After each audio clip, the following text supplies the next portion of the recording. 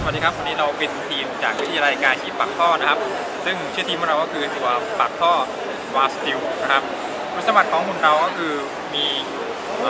ใบพัดที่ทรงพลังนะครับและมีความเร็วรอบถึงประมาณ